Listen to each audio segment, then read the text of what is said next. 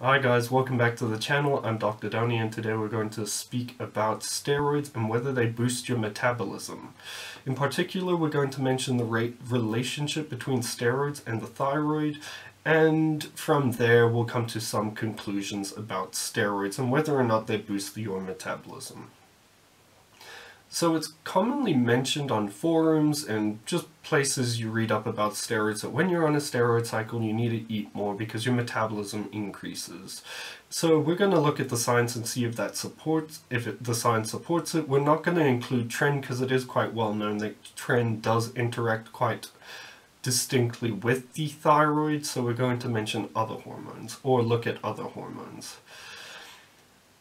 So the question of steroids and their impact on th the thyroid and thyroid hormones has always kind of puzzled me because it's always been known in the community, steroid community, that there is some interaction with steroids and the thyroid, but no one has really characterized these um, these interactions.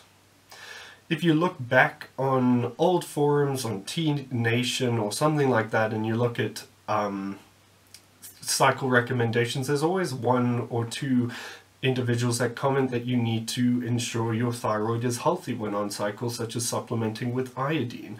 And I just was curious about where this recommendation came from, as it seems that people think that, in fact, steroids cause transient hypothyroidism, where the thyroid becomes underactive as opposed to hyperthyroidism. This would mean that the your metabolism is actually lower than if it if you had not been on steroids. And I got thinking about this topic because of one case study that uh, in an individual I know who had normal or borderline normal thyroid function. However, on starting TRT, their thyroid function became worse and they started becoming symptomatic. So I started to question what the interaction between steroids and the thyroid were. So let's look at the science. So there's surprisingly quite a lot of research on steroids and their effect on the thyroid. And we'll start this off by looking at a study done in rats. It's one of the lower forms of evidence, but it kind of sets the stage. And in this study, they tested different testosterone doses and see and looked at what it did to the plasma or blood levels of the thyroid hormone, such as TSH, which is the thyroid hormone that's responsible for stimulating the thyroid to produce T4 and then T4 is converted in peripheral tissues to T3 which T people call T3 the active thyroid hormone. So in the study they demonstrated a clear correlation between the dose of testosterone used and the impact on the thyroid. The higher your dose was, the worse your thyroid did, so it lowered your T3 levels as well as T4 levels. And it increased your TSH levels, which means that your thyroid's are not responding to TSH as well, so your brain has to produce more TSH to try to stimulate the thyroid but the thyroid isn't being receptive. So this paints the picture that steroids cause this what people would call primary hypothyroidism. But let's see what happens in studies in humans. So in another study, they took 13 subjects, five of whom admitted to using steroids. Unfortunately, they could not intervene and give the individual steroids as it was not ethical. However, the uh, individuals taking steroids uh, bought them off the black market and they couldn't control which steroid they used, so some used 750 milligrams a week and some used 2 grams of steroids a week, and it ranged from testosterone to nandrolone to Dbol and Winstrol. And they excluded thyroid dysfunction first, so there were 13 subjects, 8 were normal, 5 were not normal.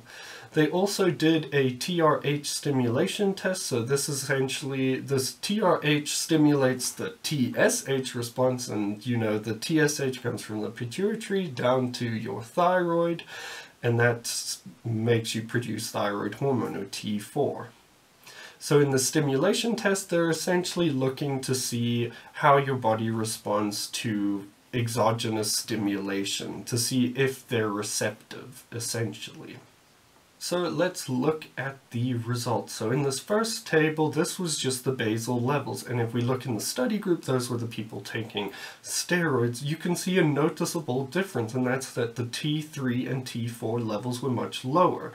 However, free T4 levels, so that not bound to a protein was the same, which makes sense because the thyroid, the TBG, which is the thyroid binding or thyroid hormone binding globulin or just thyroxine binding globulin, uh, was much lower, which means there would be more free T4, but since there wasn't that much T4, the numbers were identical. TSH also was slightly raised, however wasn't significant. So as we can see, there is a picture of primary hypothyroidism, which is where the thyroid isn't producing enough thyroid hormone with the slight elevation in TSH. And after the TRH stimulation test, the pituitary was very receptive in the steroid individuals to TRH, which means that the pituitary is not the problem. It must be the thyroid that's the problem, and it appears the thyroid isn't receptive. But the research is mixed, because in an older study they showed something different. So in this older study, they looked at steroids again. They didn't compare it to a control group of people who weren't taking steroids. And again, the steroids were administered by the patients themselves, and they just looked at basal levels of these patients from when they started the cycle to the end of the cycle. So they followed them during the cycle, looking specifically at thyroid-related hormones.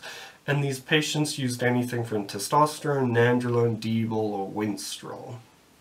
So if we look at the results here, you can clearly see that during the cycle there is a clear dip of um, in the T4 and T3 levels, and obviously the thyroid binding globulin levels. And this was noted to occur around the fourth week. What was interesting, however, is that TSH also dropped, which was different to other studies which said that TSH increased. This means that perhaps it would suggest that maybe the pituitary gland is being suppressed as opposed to the thyroid. That's why I say the research is a bit mixed. So this would suggest that perhaps um, there's a secondary hypothyroidism as opposed to a primary hypothyroidism. Secondary being that caused by the brain or the pituitary, or primary that being the thyroid is the problem. In terms of compounds being linked to thyroid or decrease in thyroid hormones, it's only really been shown in stanozolol, which is Winstrol.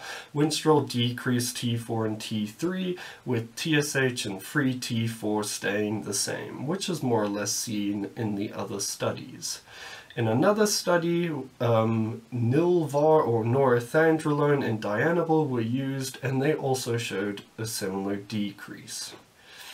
So what can we conclude from this? Well, the TSH levels are inconsistent, some showing an increase, some showing a decrease or no change. However, what is known for sure is that T4 and T3 hormones are massively decreased along with thyroxine binding globulin. This drop in TBG or thyroxine binding globulin has been referenced by individuals on forums as to the reason why the your metabolism is boosted because you get more free thyroid hormone. But as we saw from the study, free thyroid hormone was the same because the total thyroid hormone had decreased. So this would suggest that in fact your metabolism decreases when on cycle, especially using compounds such as testosterone, nandrolone, Deebol, and Winstrol. Tren is a different story, and I'll mention it in a different video. So what do I hypothesize from these results? And I'd like to know if you come up with any hypotheses. So essentially what I'm thinking is that when you take testosterone, your LH and FSH decrease. And the thing with LH and FSH is that they are similar in molecular structure to TSH and bind weakly to the thyroid gland. And if you're missing these, then you have less stimulation and less thyroid hormone. So I'd suggest that most individuals should take an analog of these when on cycle. That would consist of HCG and HMG, or recombinant follicular stimulating hormone. Furthermore, if it's not corrected by HCG, and I would suggest you uh, test your thyroid hormone levels, such as TSH and T4, after four weeks, as we saw that that's when they reach their lowest levels. And if they don't correct to HCG, this would perhaps mean you need exogenous T4 when on cycle, because you don't want to risk the adverse effects of having low T4, which I'll mention briefly just now. So if you take exogenous T4, you should not necessarily need exogenous T3, since T4 is converted to T3, and we're assuming your peripheral conversion is fine. Furthermore, it's necessary to test your thyroid function because you might have high normal thyroid function, meaning that when you take steroids, you'll still be within range, however slightly lower, but you'll still be in range and then you will not need this treatment. So it's always important to know your levels. However, if your levels are low and you can't correct it with HCG or uh, recombinant FSH or recombinant LH, then you should perhaps treat it with T4, which is levothyroxine. That's the medication. So the issue is if you leave T4 to be low as it is, not only do you uh, have the risk of gaining more fat or gaining fat more easily, you run the risk of having even worse lipids when on cycle because T4 is well, thyroid hormones are important in the uh, metabolism of lipids, and your lipids will be skewed even more. Furthermore, for competitors who do not want to gain excess fat or lose um, energy when competing, it would be at least, it would be very necessary to supplement or take exogenous thyroid hormones. So it seems that so it seems that steroids do decrease your metabolism through decreasing thyroid function, but this can be corrected, and there isn't much research on it, but I've hypothesized a possible correction to it, which isn't the gold standard, but there isn't much research on it at this point. Just let me know what you think in the comments below, and I'll see you in the next video.